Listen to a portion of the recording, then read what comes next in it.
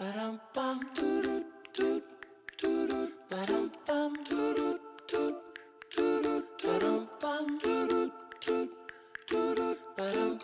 Scorpios, welcome to my channel. We're doing your 16 to the 31st Sun, Moon, Rising, Venus, and Jupiter. Let's see where this is going. There was Scorpio.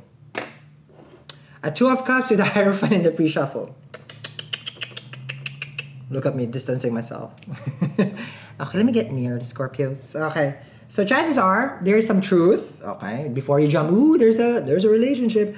There is some truth. Okay, that is coming out about how this person really feels towards you in 16 to the 31st. Okay, but let's see where this is going. Sun, Moon, Rising, Venus, and Jupiter. Here we go.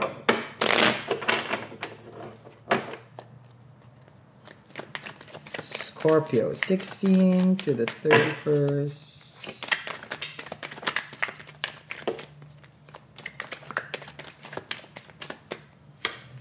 Six of Pentacles.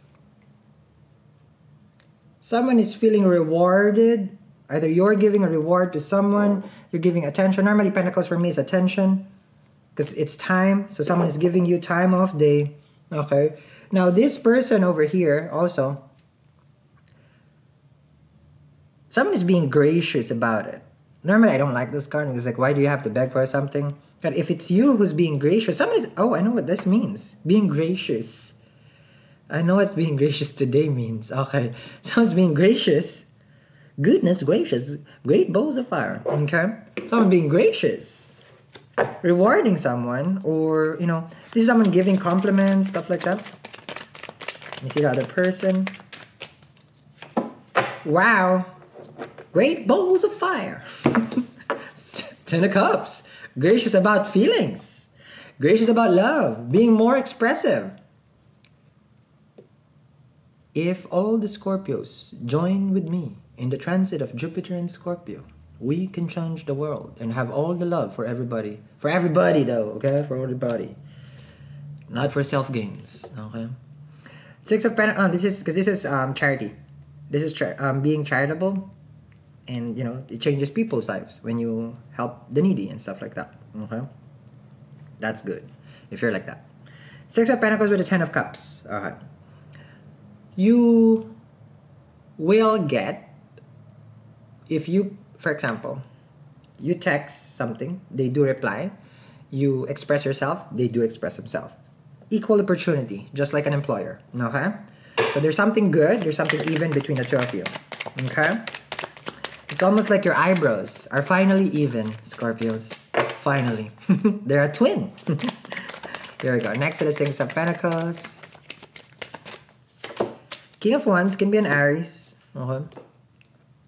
Someone who's reached to a point or a level of a part of their life that they can exert effort the way the other person is. Someone, because the King of Wands is known as a chaser, but for me, I see it more of like they are very passionate with the way that they express themselves. But this can be used since you're Mars ruled also.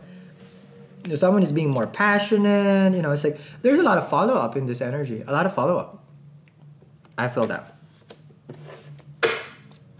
Next to the Ten of Cups. Five of Pentacles. The person that you're connecting with has never felt the way that you have loved anyone else. Vice versa for crosswatcher. This person has always feeling down, never loved. This person is never loved. You got me. I have to compare this to something really, really sad. You know how, for example, you know, like a rescue dog, you know, those rescue pets in particular, that they were not treated well. Okay, but this can be also by their masters or whoever whoever is the owner so this person probably had relationships that that they never got this kind of love. They were always feeling that nobody will ever love me. And then they met you. The one who can express love like a crazy, crazy person. To the point of crazy. You crazy. We know that, Scorps. because you know what love is. It's crazy. Here we go. Ace of Pentacles. Wow, totally. There's even, you know, give and take over here. See? You reach out, they reach out. It's stable. It's just, oh, this is Six of Pentacles. Look at that. Instead of them, okay, not talking to you, they will start giving something. This person will also, oh wow, this is very sad. Sorry.